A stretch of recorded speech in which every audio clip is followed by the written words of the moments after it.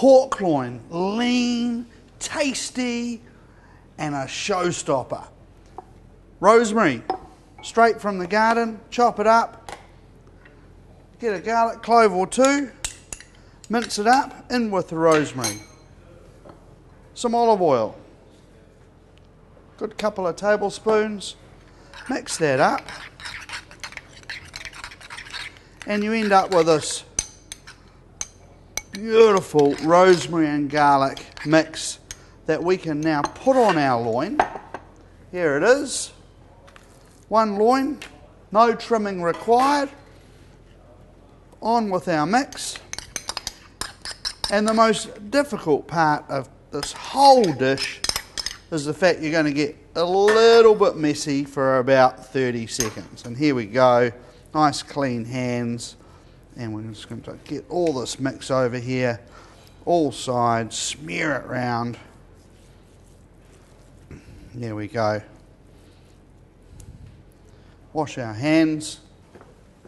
Good grind of salt and pepper to finish. Into the oven at 185 degrees. Let's take it out of the tray onto the board. Now we're going to let this rest, and that way we're going to seal all the juices in. If we slice it now, we'll end up with lots of juices coming out. We've got our tray here on the induction cooktop. I've got some white wine going in. This is to make our sauce. Some stock goes in there. And I've got some hazelnuts that we've just toasted in the oven until we got a little bit of colour and then just roughly chop them up. That goes into our sauce. So I've got all the ingredients in here for my sauce my wine, my stock, my hazelnuts. Now I'll come and I'll pour all of these into a pan and I'll scrape all those out really quickly. Scrape them all out there. Now all I need to do is let that reduce by half and then I'm going to add some butter.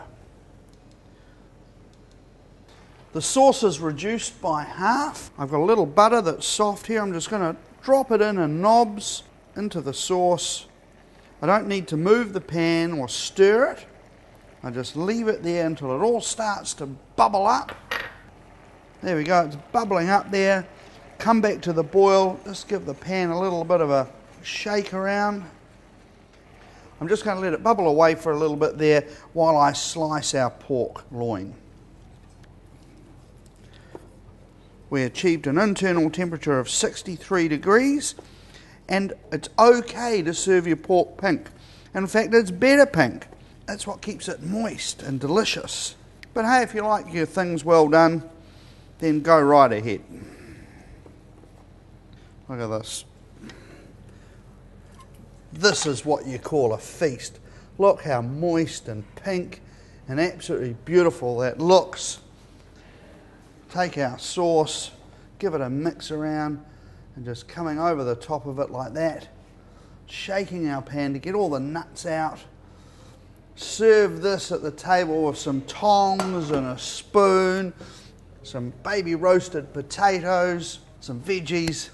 You're going to love it. It's a great party style pork loin that you can serve in the middle of the table and you can all attack it.